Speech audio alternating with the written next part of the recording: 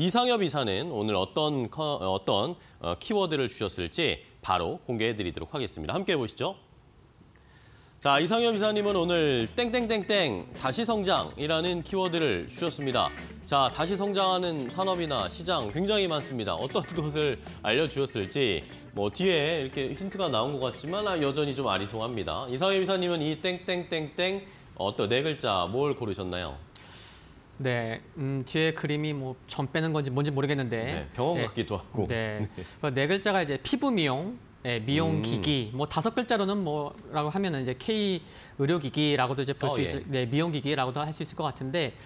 어, 참 지수는 다소 좀 정체되어 있는 상황인데 이런 가운데에 신고가 나오는 종목이 있는 섹터가 있다. 바로 이제 피부 미용, 이미용 기기 쪽에 에, 흐름이 굉장히 좋다는 거죠. 그래서 시가총액 가장 큰 음, 클래시스가 어제 신고가가 났고 또 오늘 같은 경우에는 비올이 어제에 이어서 다시 재차 신고가가 경신되는 모습이 나오고 있는데 음, 방한 외국인들도 어, 국내에 들어와서 신용카드 사용 금액의 그런 비중을 살펴보면은 이제 뭐 성형이나 뭐 피부 미용 쪽에 많이 지출을 하고 있는 것도 음, 확인할 어. 수가 있고 주가 흐름도 좋아서 근데 주가 흐름도 좋은데 그 중심에 또 수급도 좋기 때문에 한번 예, 오늘 좀 말씀을 드려보려고 합니다. 네, 좋습니다. 자, 이렇게 미용 의료기기 쪽을 살펴볼 필요가 있다. 피부 미용과 관련된 이 업 섹터 저희가 잘 살펴보고 또 올해 관심을 또 많이 받았던 업종이기 때문에 다시 한번 좀 볼 필요가 있겠습니다. 그럼 관련해서 어떤 종목들을 좀 체크하고 계신가요? 네, 일단 뭐 주요 모멘텀 뭐 조금 더 말씀을 드리면요. 음, 지난 3분기 실적이 굉장히 좋았는데 왜 3분기 실적 지금 4분기도 거의 지나고 있는데 왜 3분기 실적이냐라고 이제 말씀을 드리냐면 네. 3분기가 성수기가 아니고 비수기였음에도 불구하고 실적이 굉장히 좋았다는 거 예, 다시 한번 체크하고 넘어가고자 생각을 해서 이 부분을 말씀을 드리는 건데 네. 클래시스, 뭐 비올, 원택트 실적이 좋았죠. 그래서 보통 이제 이렇게 시술 같은 경우 이제 뭐 여름 방학, 뭐 겨울 방학 또 휴가를 써서 하는 경우가 많기 때문에 네. 뭐 1분기나 또 2분기 또 여름 겨울이 성수기인데 3분기가 실적이 좋았다는 거죠. 그래서 어 이제는 계절성도 무관한 거 아니야? 어. 이런 거를 3분기 실적을 통해서 확인했다라는 거 굉장히 중요한 것 같고요. 네. 그리고 이제 영업이익률 소모, 소모품이 영업이익률이 굉장히 높은데 클래시스 같은 경우에는 3분기에 전년 동기 대비해서 34% 증가했고요. 비율도 31% 증가를 했고 그리고 이쪽에 뭐 글로벌 의료기기 의 성장성은 굉장히 커서 2020년과 2030년을 비교해 봤을 때는 10년 동안 거의 한 4배가 4배 가까이 성장한다는 거 중요한 것 같고 그리고 또 관련된 기업 중에 레이저 옵 텍이라고 있는데 내년 초에 또 스펙 합병을 통해서 상장을 앞두고 어. 있습니다. 그래서 이런 관련된 기업들이 상장하는 거 굉장히 또 중요한 거고 최근에 또 여러 ETF들이 상장하는 걸 봤을 때는 그런 시장에서 수요가 있기 때문에 상장하는 건데 관련된 기업이 또 실적도 좋고 최근 3년 동안의 연평균 성장률이 무려 59%나 되는 회사이기 때문에 이런 시장의 흐름을 또 확인해 보는 것도 중요하겠다라고 말씀드리고 싶습니다. 네. 자, 그럼 바로 뭐 종목도 체크를 해보도록 하겠습니다. 어떤 네. 종목 보고 계세요? 네, 첫 번째로는 이제 클래시스를 말씀드리려고 하는데요. 에, 지난 3분기에 매출과 영업이익이 각각 뭐 45%, 41.1% 성장을 했고 해외 매출 비중이 64.9%까지 좀 크게 올라왔는데 네. 어, 단연 좀 눈에 띄는 그 국가가 브라질입니다. 그 브라질이 굉장히 그 고속 성장을 하고 있는데 해외 매출 중에 한 30%를 차지하고 있어요. 근데 이 현지에서 매출이 2020년도부터 보면은 뭐 90억 136억, 작년에는 230억 원 수준으로 어. 굉장히 크게 올라오고 있고, 그리고 또 이렇게 흐름이 좋은 것 중에 단연 좀 손꼽자고 하면 음, 미국 시장 진출 기대감인 것 같습니다. 회사에서는 미국 시장 진출을 한 2026년을 좀 바라봤었는데, 어, 지난 11월 초에 그 HIFU 제품이 예, 사이저 HIFU 제품 중에 그 사이저라고 있는데 그 FDA 허가를 받았어요.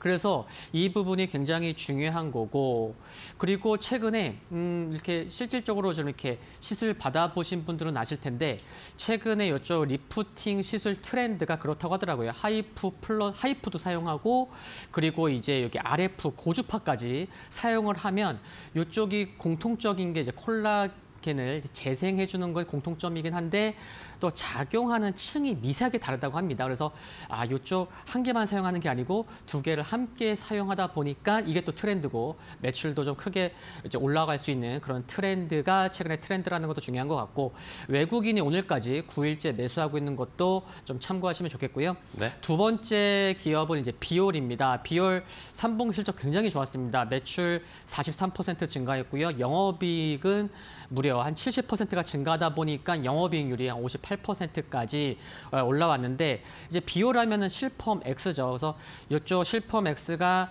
연내 브라질 또 내년에는 중국 인증 마무리 계획 을 갖고 있다는 거 중요할 것 같고 그동안 좀 이게 좀 아픈 아프긴 하나 봐요. 그래서 이제 마이크로 니들 방식의 고주파 의료기기만 한 우물을 팠었는데 시장의 트렌드가 이쪽만이 아닌 거죠. 그래서 뭐 초음파, 더 비침습 고주파 쪽 사업 역량을 확장할 계획을 갖고 있기 때문에 내년에 새로운 성장 모멘텀이 플러스 알파가 된다는 거 가장 중요할 것 같고 또 음, 11월 중순에 열 번째 그 SCI급 신규 논문이 발표 가 됐는 발표가 됐는데 네. 이 실퍼맥스를 이제 한 여드름이나 여드름 흉터를 치료하는 한 20주간의 임상시험 그 논문이 이제 발표가 됐는데 제가 사진을 보니까 굉장히 많이 효과가 에, 있는 것을 확인할 수가 있었다는 것도 중요한 것 같고 마지막으로 수급 말씀드리면은 외국인이 어제 오늘 이틀간 100만 주 넘게 사고 있습니다. 그리고 어. 11월 한 달만 놓고 보더라도 외국인과 기관 모두가 각각 100만 주 이상씩 사고 있음을 봤을 때는 어, 좀뭐 실적 전망도 좋고 모멘텀도 있기 때문에